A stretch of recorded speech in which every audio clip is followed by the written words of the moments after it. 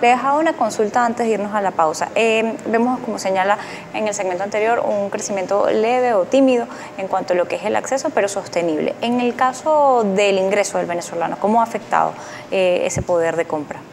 Bueno, los últimos, quizás los últimos 18 meses han sido meses de incrementos sostenidos, tímidos, pero, pero la inercia se ha mantenido. Y eso es precisamente lo que ha generado que durante los últimos meses tengamos un repunte importante del consumo de alimentos. También hay un componente de abaratamiento o de optimización de los costos de los productos nacionales producto de la reactivación de la, de la actividad agroindustrial nacional. Siempre un producto agroindustrial venezolano, al menos en su, mar, en su categoría de calidad, va a ser más económico que un producto agroindustrial importado. Por lo general los productos agroindustriales importados son más económicos que los nacionales pero en otras categorías de calidad. Eso es uno de los temas con la producción interna. Y sí, en efecto, nosotros vamos registrando que en lo que va de año podemos haber registrado cerca de un tercio de incremento de capacidad adquisitiva, al menos en términos alimentarios por parte de los consumidores. Vamos a un segundo semestre del año y el mundo entero está eh, sumido en una condición eh, complicada en cuanto al tema agroalimentario y ya se ha alertado, se ha alertado desde el inicio de, la guerra entre Rusia y Ucrania, pero hay, hay una situación, hay una crisis mundial en materia económica que ha afectado las cadenas de distribución, hay una cantidad de inversiones que debieron haberse hecho y por pandemia no se hicieron, eso ha afectado la, la mayoría de las cadenas de distribución y eh, todo lo que tiene que ver con las cadenas de producción. ¿Cuál es el efecto que esto va a tener para Venezuela? Ya estamos sufriendo los efectos. Eh, nosotros estamos padeciendo los coletazos de siete macrocrisis que está viviendo el mundo. La primera macrocrisis es la crisis de los combustibles. Nosotros somos un país que si bien producimos crudo, importamos combustibles. En este momento tenemos desabastecimiento, no tan agudo como en otras épocas, pero lo tenemos en términos de diésel, en términos de gasolina es probable que eso esté dificultando las, labores, las tareas de, labranza de del ciclo de cereales, que estamos justo en ese ciclo. Hay datos que apuntan a que el 15% de la superficie preparada para sembrar está teniendo dificultades para ser efectivamente sembrada producto de, de las carencias de combustible. La segunda crisis que tenemos es la crisis de la fertilización. Los precios de la urea se han más que duplicado, los precios del fosfato han subido cerca de 30% los fertilizantes formulados y todo eso se viene traduciendo en dos grandes temas para nosotros. En primer lugar, el incremento de los costos de producción de nuestros agricultores. En segundo lugar, la disminución de la superficie a sembrar, lo cual se va a traducir en dos cosas al final. Vamos a, tener menos hectáreas sembradas y vamos a tener menos rendimientos por hectárea, lo cual reducirá el volumen de alimentos disponibles en el país con origen en el país. Se debilita la, la soberanía alimentaria. La tercera crisis que tenemos es la crisis del incremento de los precios de las oleaginosas y de los cereales, producto de la crisis y, de la, y del cambio climático. Las dos crisis están conjugadas. Mira, podríamos tener aumentos de hasta 50% en el precio de algunos de los rubros. Ya en este momento la tonelada de soya ha subido de poco más de mil dólares a 1.500 dólares. Así vamos, con un impacto sobre el alimento balanceado para animales, con impacto sobre el precio de la carne, con impacto sobre la posibilidad de importar o no importar leche. Entonces esto tiene un impacto sobre la anaquel y sobre los consumidores. Ya los consumidores venezolanos están registrando incrementos importantes del precio de las pastas y de las harinas con origen en trigo y es esperable que a partir del mes de octubre tengamos un impacto similar sobre el, sobre el maíz, sobre los derivados del maíz y quizás también sobre los derivados del arroz. También tenemos una, crisis asociada a la logística internacional. Nosotros pues, pues tenemos una cadena de valor que en dos tercios de su estructura está intervenida. No quiere decir que totalmente, pero está intervenida, tiene participación de importaciones. Nosotros para poder envasar necesitamos tintas, necesitamos envases, vidrio, plástico, tetrapack y eso lo importamos, producto de la no activación de nuestra industria nacional la crisis del contenedor que tiene origen en China ha encarecido hasta en 500% el precio de los fletes. Eso impacta de nuevo en los anaqueles.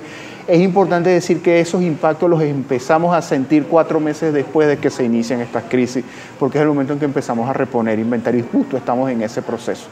Es decir, a partir de este mes podríamos tener si ya hemos vivido un repunte de la inflación alimentaria, un sostenimiento, inclusive un incremento de esa inflación alimentaria con un componente plenamente exógeno.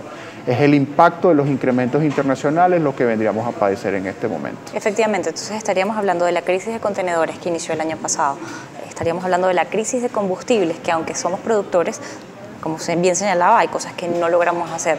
Eso también ha afectado a nuestra cadena en cuanto a lo que tiene que ver con la petroquímica, que afecta la producción de plástico y los derivados necesarios para poder hacer los Nosotros envases importamos hasta lubricantes en este momento. Además del lubricante, del diésel, la situación que se enfrenta luego eh, con el tema de la guerra entre Rusia y Ucrania también eh, genera una dificultad de acceso a algunos productos que efectivamente vienen de allá, que ya Europa empezó a pagarlos en cuanto a precios. Y, tenemos un lío con la desglobalización.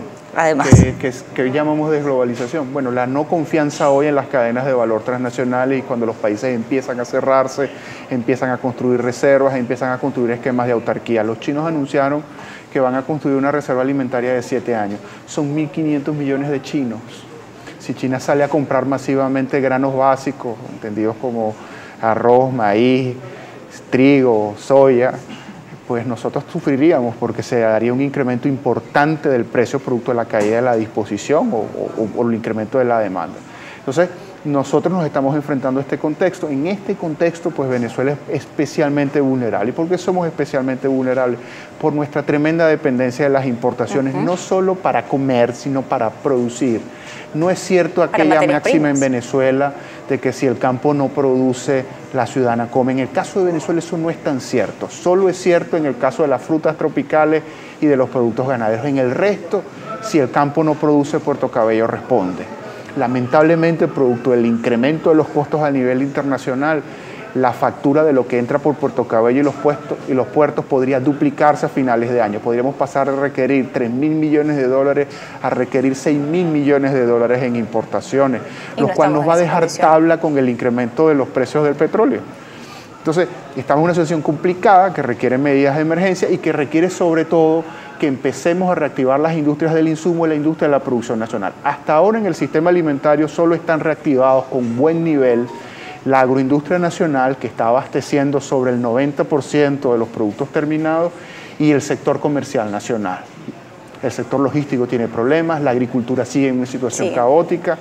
Lamentablemente en el campo venezolano no mejoran las situaciones y de además la condición climática no ha ayudado.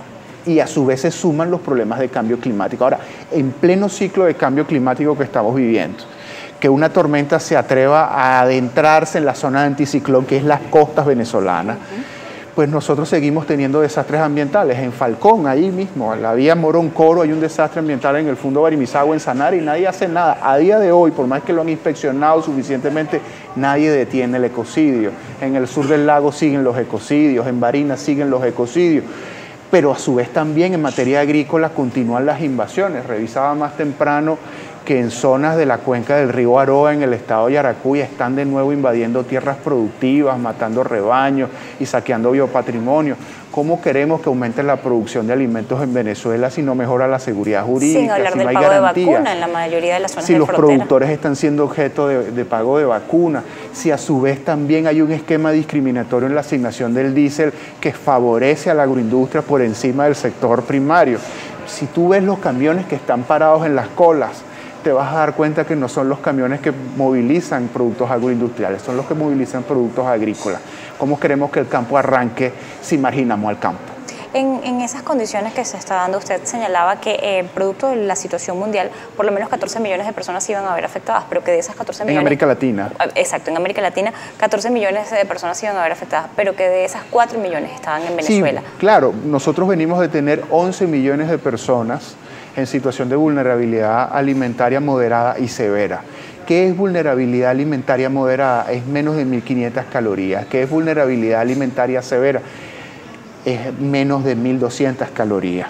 Nosotros hemos venido reduciendo esas cifras. Es muy probable que, aunque sigamos teniendo una situación humanitaria compleja, hayamos bajado del estadio 4, que es el estadio de emergencia, al estadio de crisis, y que producto de esa disminución de esos 11 millones tengamos 4, que serían esos 4 de los 14 que te estoy diciendo, los cuales nos ubicaría como el segundo país que aporta mayor número de personas a la cifra de vulnerabilidad alimentaria en el continente por detrás de Haití. Bien, le agradezco habernos acompañado la tarde de hoy en Noticias Globovisión Economía para conocer lamentablemente estas cifras y las condiciones en las que estamos enfrentando o vamos a enfrentar el segundo semestre del año 2022. Edison Arciniegas, él es director ejecutivo de Ciudadanía en Acción y nos acompañaba la tarde de hoy. Hacemos la pausa y volvemos para contarle cómo está el mercado internacional.